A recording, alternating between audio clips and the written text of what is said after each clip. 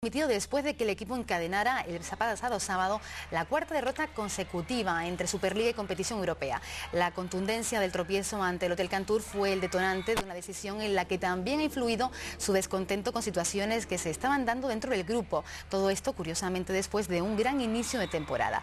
El segundo entrenador, Juan Antonio Armas, dirigirá el momento, de momento el plantel.